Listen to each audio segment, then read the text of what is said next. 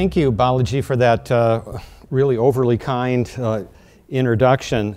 I was thinking about this as I was returning from our annual Forbes internal sales meeting that we have in the beginning of January every year, and this one was in uh, Vieques Island, Puerto Rico, and, and so I was in Vieques yesterday. And, and our internal sales staff, we're, we're a much more global company than we were when I joined the company in 1992. When I joined the company in 92 and went to our sales meetings, all of our salespeople were basically middle-aged white men.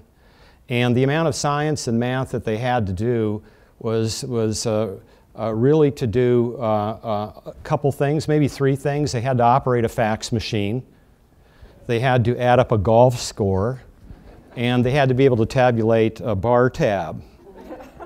and um, you know, today we're a much more diverse company, and we're, we're probably, uh, our sales and marketing team is probably 70, 70 to 30 women.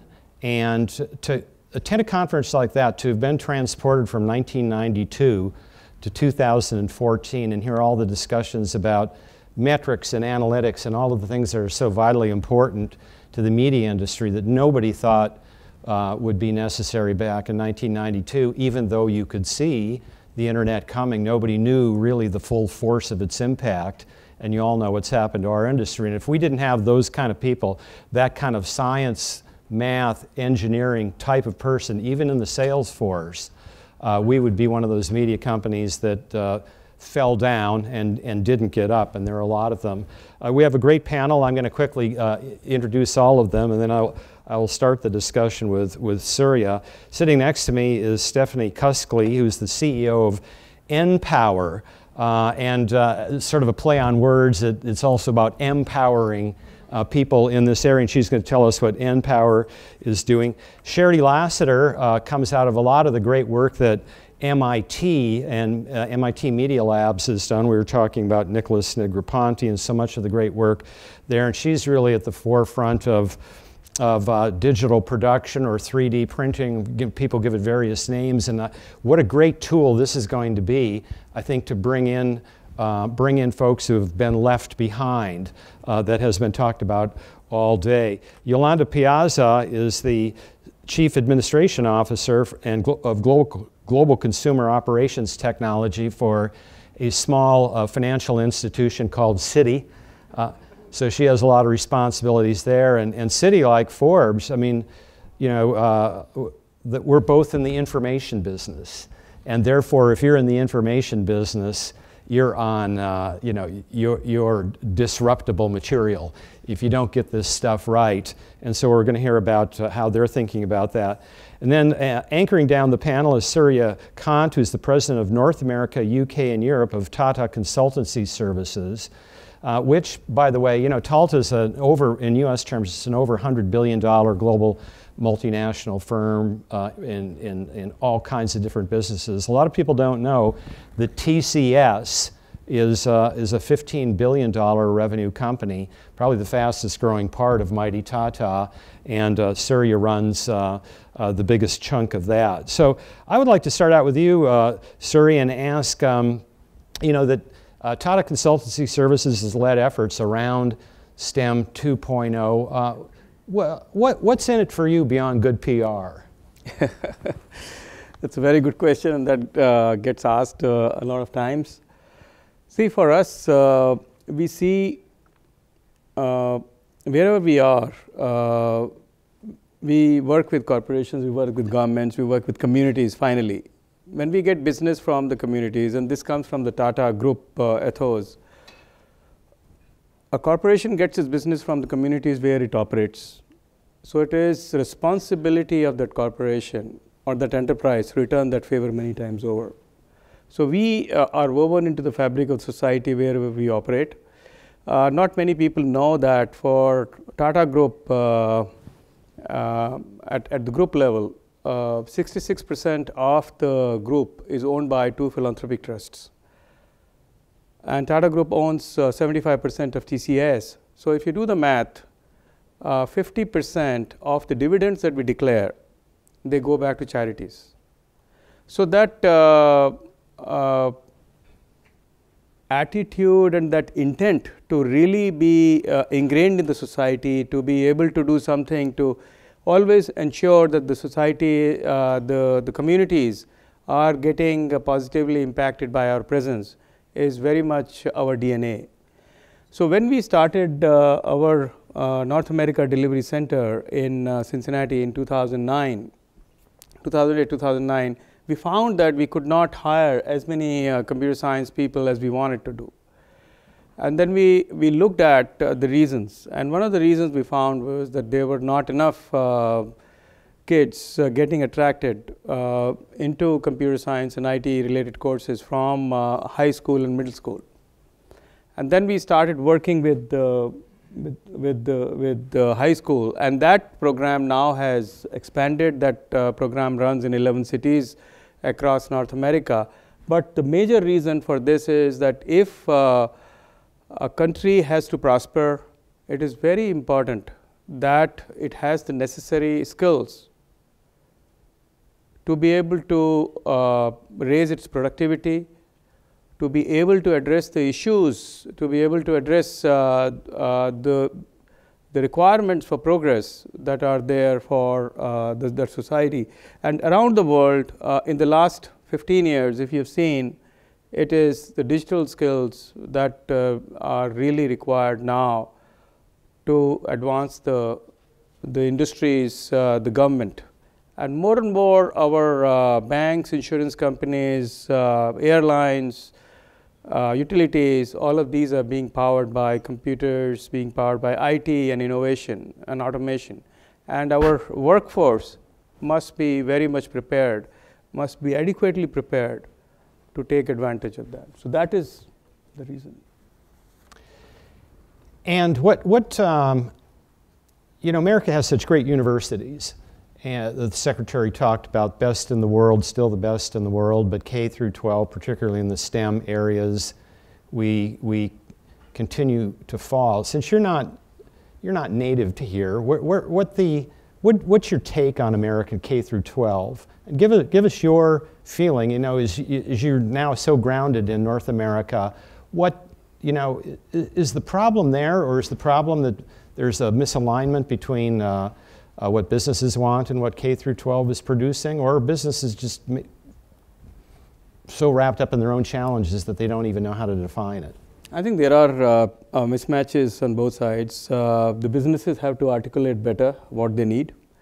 But at the same time, if you look at uh, our schools, in our schools, uh, only 70% of the kids graduate out of high schools. And only 32% of those kids go to uh, colleges, right? If you look at the computer science part, only 17% of the kids really are, want to go into computer science. One of the things that we found as we work with the uh, kids uh, in the schools is that people, kids have this notion that uh, if I know how to use uh, smartphone and if I know how to, um, you know, play games, video games, I know all about IT and all about automation and Right. The other aspect on the when when the popular culture also uh, appears to have made it out that people who are in computer science are geeky, nerdy. They don't really have social skills, so uh, they are outliers. So I think that aspect. One is the the people uh, like us, uh, the businesses also have to articulate what sort of skills they need and what they require, and they have to actively work uh, along with the educators and colleges to in fact uh, help them uh, bring out such programs and, I, and, and this STEM innovation task force is, is, is, a very good forum to really articulate that.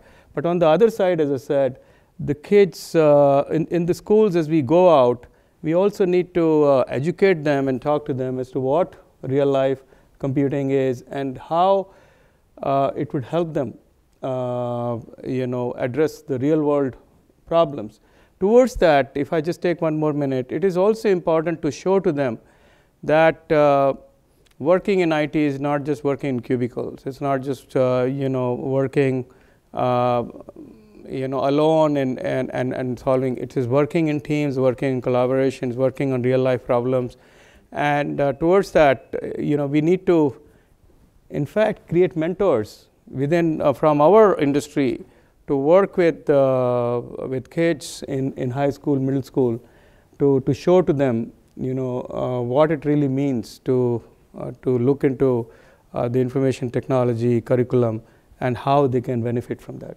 Well, I want to come back to this all important point about collaboration and, and its cousin diversity because I think we're, we're trapped in the shallows there uh, for all kinds of reasons. I want to see if we can, on the panel can maybe penetrate at a deeper level. But Yolanda, you've thought a lot about getting kids involved at an earlier level and, and how do we overcome these you know, cultural barriers that Surya talked about that it just doesn't seem to be cool, um, uh, particularly that, that it may, uh, people start peeling away in later grade school and early junior high because it's not cool and girls start peeling away from it in particular. Why is that? And, and um, based on what you've learned, and how do we, how do we stem the, the loss in STEM? I think it's a great question and a great discussion. It's come up a couple of times throughout the day we took a look at, as I was looking at our data across Citi for women in the uh, Global Technology Organization, I looked and I said, we're pretty good. We're above industry average. We seem to be trending.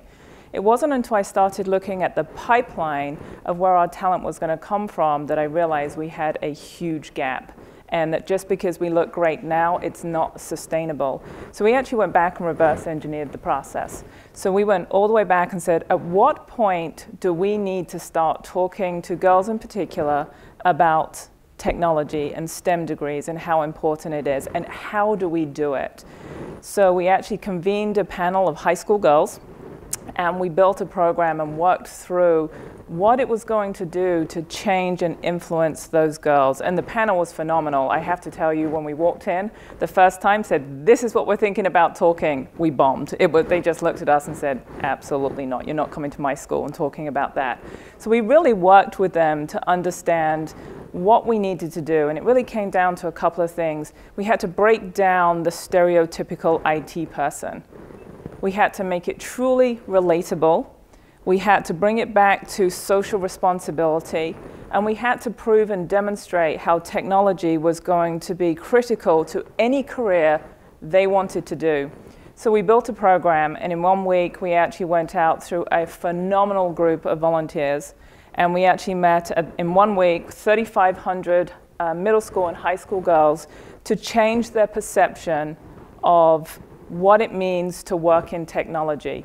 And we very specifically stayed away from just coding. There's so much hype just around coding. We covered the gamut of what it means to work in a technology organization and actually built questionnaires where they could survey the types of roles. So we, we said if you're really good at organizational skills and you like planning parties, you know, maybe the project management track is the right place for you. If you really like uncovering, you ask a lot of questions and dig into the root of something, maybe information security is something that you would like to consider. So we made everything relatable. In addition, we took our grad program, our technology grad program, pulled all the women out of that and had them go in and teach the program because they're relatable. People, all of a sudden, these girls could see themselves. They spoke the same language. You know, they, they, they used a common body language. It, and it was so interesting to watch the girls react to this younger level set of um, kids coming back in that were really pretty cool. They weren't nerdy. So when we walked in the door and we did, the, we did pre-surveys, how many of you are interested in a career in technology? It was 30%, and I think some were being kind. When we walked out, we surveyed again. It was 69%. So we said, okay, we did pretty well. What, what, beyond the improvement, the more than doubling of that number, what, what surprised you most? What surprised me was a couple of things is they all latched on to, you know, we, we walked them through real people in technology, a day in the life. And one of the girls, we actually had a video for them, and one of the girls had a shoe closet with 400 pairs of shoes that to them resonated with them. All of a sudden, they could tie this career to a future that they saw themselves participating in. So being able to take it all the way through, they're like, I want to travel. You know, so we had uh, people talking about the travel that they did. I want to travel. I want to own 400 pairs of shoes. And then we talked about each of the jobs and the average salary. So we took, you know, statistical data and said, this is what you could be earning. And let me tell you what that means to you. So your first job, this is the type of lifestyle you could be leading if you think about this as a career. Today we got the results back from, we went back in and surveyed them a year later. And 70% of them are still highly interested in a career in IT. You so know, the sustainability it, was huge. Yeah, it's a challenge, right? Uh, uh you know, 18-year-old son is a huge fan of um, the movie series Iron Man with Robert Downey Jr. And I try to point out, and I'm just not successful. I said, you know, there's a real life Iron Man a few miles away. His name is Elon Musk. you know, he's got this cool car company. He's, he's into space stuff. Right. You know, he, has got more money than, you know, and uh, he, my son still prefers to watch Robert Downey Jr. Sherry, you've, you've, I think you you're on to something um, real cool. Uh, tell us about the, the Fab Foundation as a way to get in, um, people, expose them to uh, uh, the digital world, the technological world outside of the, the normal algorithmic way, which is this crushingly tiny filter. Right. Well, maybe maybe one way to uh, to kind of get into this is to talk about um, uh, the idea of uh, digital fluency. So um, if you think about all the new wealth in the world, or much of the new wealth in the world is being created through uh, sort of um, online application services, products, uh, and we defined digital literacy through that, uh, through that, that, that, um, that prism. And um, but what we do at MIT, I'm, I'm, at MIT and with the Fab Foundation. So we spun off um, uh, Fab Labs uh, from MIT, from this class called How to Make Almost Anything at the Center for Bits and Atoms. And really what it's about is uh, taking the bits of the world and making its or taking the its of the world and making them bits. So we, we really have to make things. We have to measure and modify and make things in the world. And then we also have to take information in the world and bring that into the way we design the future, design our future technologies and products. So um, that's really what Fab Labs are about. Um, it's about, these are rapid pro prototyping platforms or prototyping platforms, digital fabrication, so digital design tools and digital uh, uh, fabrication tools things like laser cutters and wood routers and 3D printers and all those sorts of things.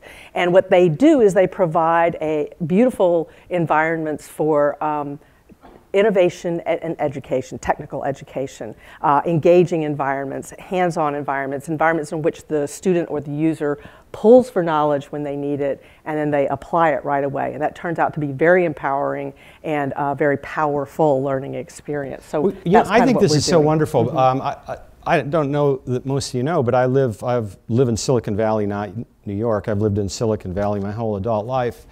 And I was born and raised in North Dakota, but I moved to the valley in the 70s when it was just becoming known as Silicon Valley. And it's known that because the semiconductor industry. And when you look at the history of the valley, you know, Bill Hewlett and David Packard started the first company, and they were by their nature tinkerers. Um, uh, uh, the great Tom Wolfe, the writer, wrote a piece on Bob Noyce, the co-founder of Intel, for Esquire magazine called The Tinkerings of Rob, uh, Robert Noyce. Steve Jobs and his uh, uh, father adopted him were tinkerers. You know, they would uh, rescue furniture from the junkyard and, and remake it into something good. And his father taught him how to look for good, you know, thrown away furniture. If you went to Silicon Valley today, if you were a stranger, you'd look at all the companies like Google and Facebook and Twitter, and you, you would call them algorithmic valley. And I think this is actually a shame because it's so narrowly defined what digital fluency is around this concept that if you aren't an abstract thinker, uh, if you aren't, uh, didn't have an 800 in your math SAT test, you don't belong here.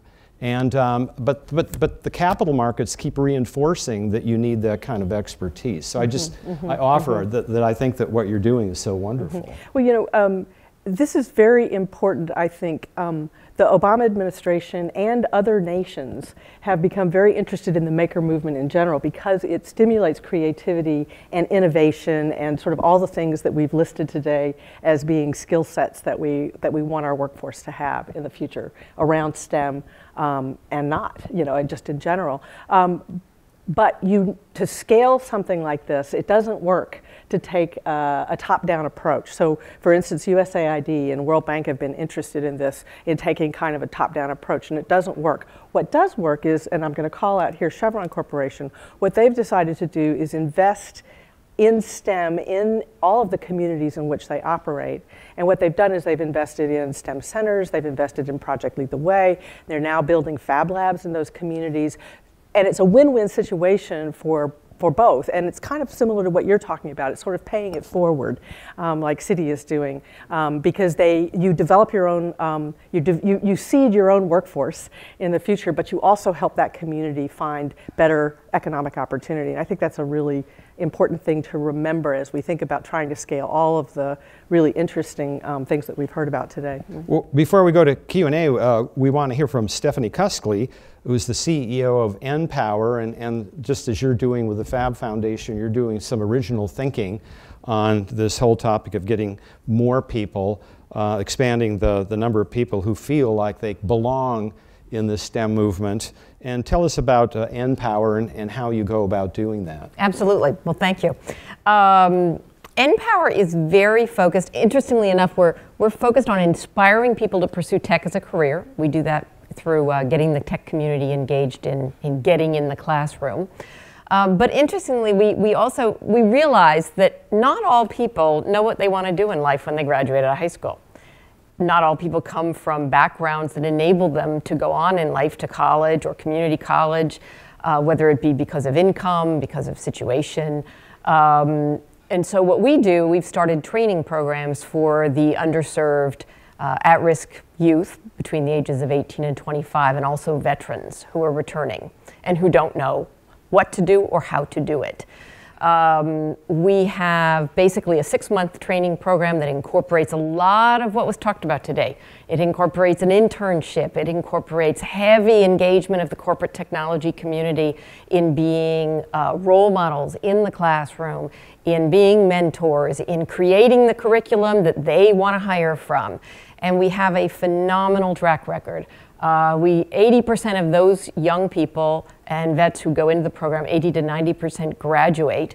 These are young people who have a high school degree, barely got through high school or GED, barely got through, um, you know, have huge challenges.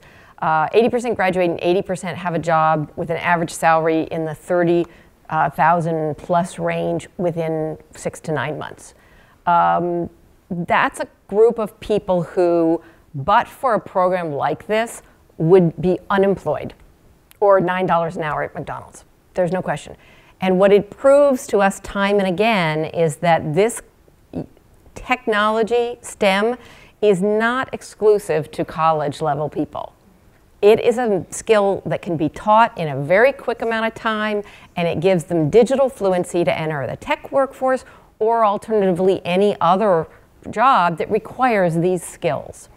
Uh, needless to say, it's not just tech, it's also professional skills, because as we also heard today, it, it, you got to have both. Well, it's, it's interesting, you know, given the timing of um, uh, President Obama's uh, initiative, which I guess he's going to talk about more in his State of the Union, of uh, having uh, more money going into community colleges. And I don't know if any of you read the New York Times op ed page today, but Tom Hanks um, wrote a piece on, you know, how junior college uh, Chabot College in Hayward, California, change everything for him because he wasn't ready for a four-year college. Now we're now we're, we're not talking about STEM, but you're talking about kind of the same thing here. Totally. And uh, and and in fact, you're doing some really innovative work with with junior colleges we are actually the programs we run are all within community colleges because what we what we have done that I think the community colleges need to do at scale is we've integrated the corporations. Rob talked about it earlier. We need to integrate the corporate skill, the corporations into the teaching and into the curriculum. And we've done that. We've really perfected how to do that. And so we're rolling out our program into community colleges across the country. Um, so we hopefully can do in the tens of thousands uh, within the near term. So, but it's that that you need to do.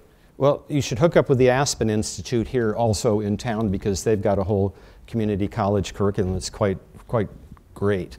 Um, we'll open it up for audience Q&A, and I, and I do want to sneak in one question about, uh, or at least a comment on, I think, how we're misdefining diversity and leaving a lot of opportunity on the table. But questions? Hi, I'm, I'm Marie Schwartz, the CEO of teenlife.com, which is a search engine for opportunities for teens. And we specialize in all kinds of things teens can do, especially when they're not in school. So, summer programs looms large, but surprisingly, out of the 13,000 listings that we have, the thing that draws the most traffic to our site is community service. Now, I'm going to say that because it's required by many schools.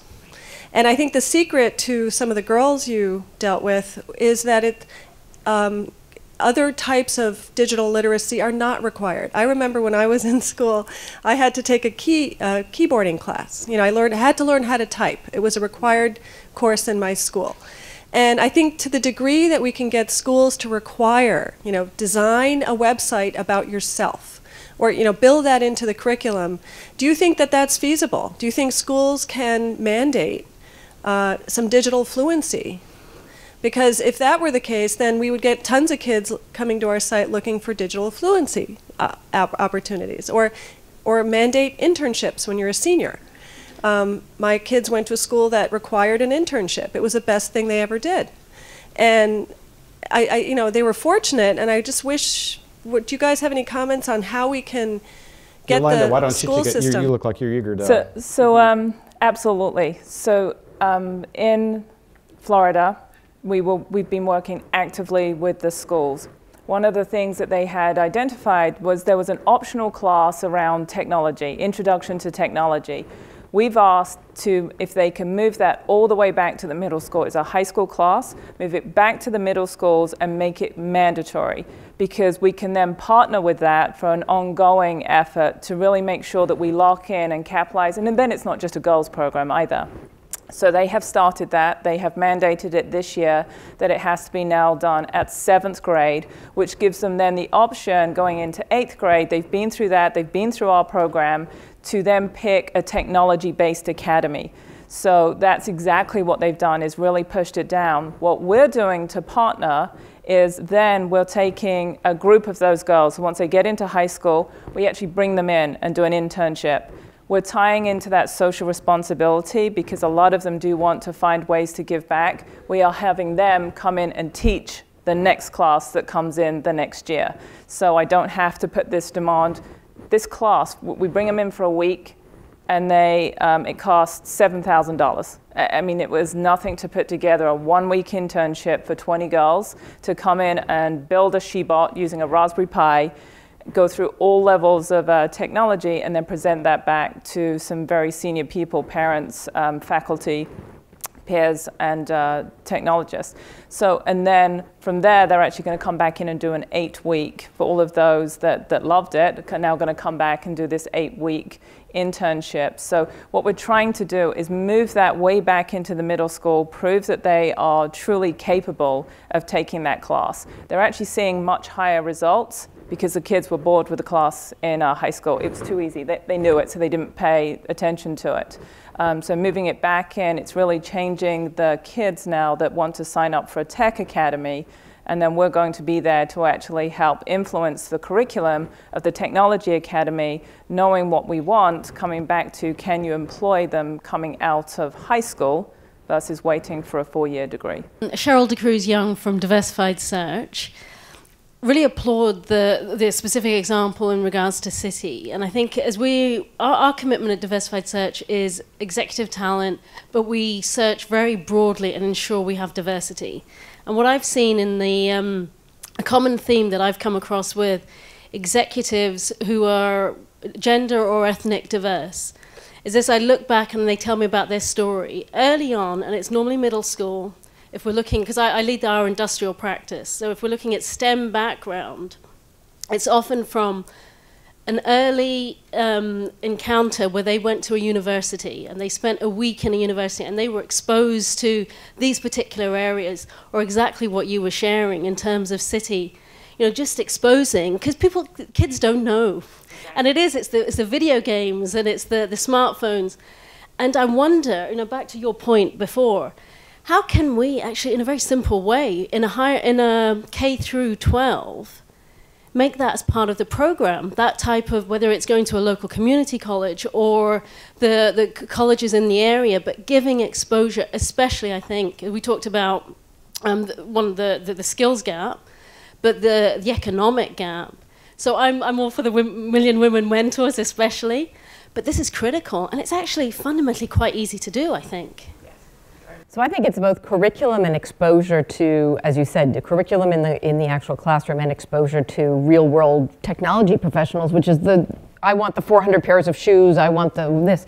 So we've actually created a platform that the New York City Department of Ed is using in their career and tech ed high schools where they can actually just put a little note in and say, I need a career speaker on security for such and such a time. And we actually go out into the Citibanks and the Tatas of the world and actually just find someone to speak on that topic, on that time, at that location. So I think we can actually, I'm very positive about change. I really believe we can do this. It's going to take longer than we all want, but we can do it. And we will do it. Um, and, and, you know, Yesterday, the National Research Council, the Board on Science Education, actually released the first guidelines to implementation of the next generation science standards. Now, as all of you, or most of you know probably, the next generation science standards is the first rule book that actually combines science and engineering as, if you wish, the standard set for K-12 in the US, uh, focusing on, on cross-cutting issues, which is very much what we're talking about in STEM. I'm raising this point only because I think it's an opportunity for us to read from the same sheet, from the same page for the first time. Uh, business and industry uh, very much would under uh, would write under and, and approve those not, uh, NGSS National uh, uh, Next Generation Science Standards. And for those of you, us, and all the others who have not yet begun to form public partnerships, uh, private-public partnerships. I think knowing now that this document will be in the hands of administrators and teachers in the next couple of years, by making ourselves familiar with that, we have an opportunity to actually speak the same language. Could I um, just sort of build on that? I think um, one of the one of the big concerns right now is uh, that not all the states want to adopt NGSS, and I think teachers are rather intimidated. And so uh, part of the public-private partnership that you're talking about should really be aimed at um, helping teachers strategize and figure out how to integrate this into their curriculum. I mean, that's what the, the guide is for, but you, you, we need to do it in a more hands-on way. If the goal, the holy grail of this is innovation and young innovators, even be able to achieve greater yields in uh, outside of the classroom. So uh, the 3D and the whole tinkering thing is something that we see uh, students who have failed in the current education system gravitate towards. Our number one site visit is a 3D printer up in Harlem who takes in students, takes them in for the day, shows them how it works. Oh my God, we get more kids deciding to follow technology as a career because of that. It's like giving so, a guitar to young Elvis. Yeah, no, it's amazing. So, no, I'll, I'll, just say, you know, uh, for example, in one of the things that we found, uh, uh, how do you really get kids interested into um, into IT is uh, to make things fun. So we got uh, robots and we uh, taught kids to program those robots, and then when they see the, the that they can move the hands of the robot or the eyes of the robots can be moved or you know some expression and then we, you know, you could see that uh, these kids were, uh, you know, full of joy. And, and many of these kids, when we, when we got uh, feedback from the schools, these kids were uh, people who were not really interested in classes or they were skipping the classes. And uh, so the point that you made uh, is, is, that you have to make things fun. You have to make things a little non-formal, not something which is, which is too uh, algorithmic or uh, you know uh, too theoretical.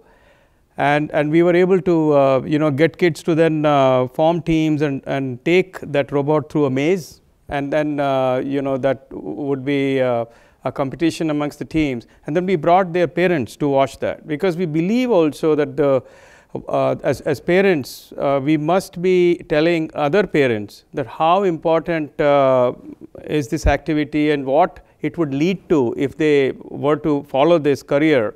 Then the whole uh, economic, uh, uh, you know, upliftment and you know salaries and those things. Then those things come in. So this is I, I agree with you that if you make things a little non-formal and make things a little bit fun, then you know that's another way of uh, taking this forward.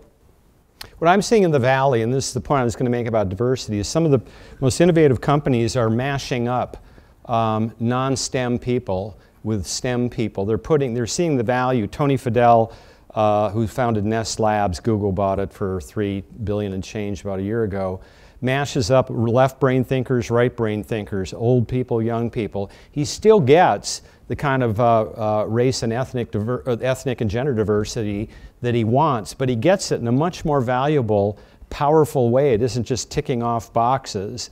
It's doing it, you know, to really expose. And what he finds that, is the result of that is he's raising the STEM IQ of the non-STEM people significantly throughout the organization. So that's sort of another informal uh, way uh, that it's getting done, and and uh, with people who are doing it uh, for, uh, you know, because it's the profitable way of doing business. I also see that there's um, there are pioneers out there that are trying to flip the bit on on how you educate. So instead of you know sitting in class and getting lectures and and then going home and doing your homework, they're trying to make it the other way around, such that you go home and you watch your lectures and video and you read your books and then you come in and you do the hands-on or whatever it is, and that seems to be also a very powerful approach that does cross the uh, formal informal um, boundary. Shows promise. Well, thank you, panelists. Thank you. Thank you. Thank you. Thank you.